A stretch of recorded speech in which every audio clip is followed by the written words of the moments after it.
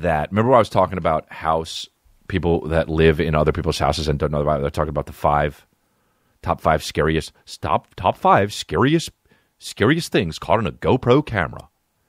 And I was talking to my friend, and she was saying that she had a friend in Chicago that was um on that was that was there in in the in the she moved in I guess in the summer and she kept hearing like rats in the attic.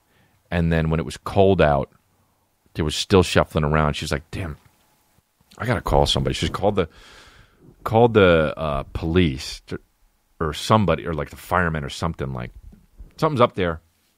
You know some animals up there. They're like animal control or something.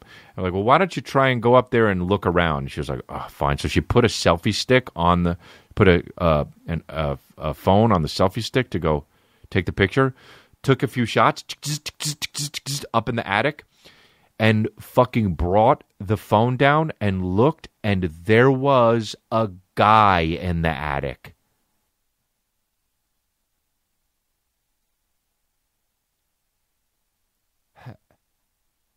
Dude, there was a guy, a man in the attic. Yeah, we show we'll show the picture on the fucking video podcast. We maybe blur out the guy's face. Apparently, it was just some homeless guy that was like doing. He was like, the cops came and was like, "Yeah, no, he does this." Oh well, how about keep him? yeah, no, he does this every time we let him out. Oh, really? Keep him. Hold that guy. Do you have cells? Put him in there. Put him in the attic of the fucking cop place, of the prison. I mean, so insane. Just. Know what I would do? Squirt shit everywhere if that happened to me. I go like this. First of all, I go like this to the fucking people. You want me to what? Go up there and snoop around? Hmm. You must have me confused with Jason Statham. What's your second option? This is what I do. They go like this. Well, maybe you want to go up there and. St-. I say, huh, what's your second option? And they say, selfie stick with a cell phone? And I go like this convince me. And then they, after they convince me for a while, I go like, okay. And I do it and I take a few pictures. I bring the phone down. And if I see the picture that the person fucking showed me the other night of the guy in the attic, that's when I release my bowels. That's when I shit all over my Yeezys. I go like this. I, I, go like this.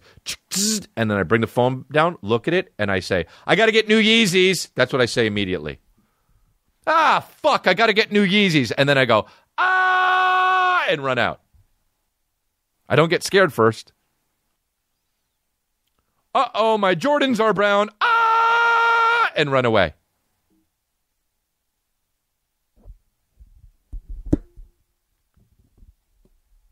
I go, hey, when you get, uh, hey, when you get out of this attic, you're gonna have to fucking watch, watch out, or you're gonna slip. Ah!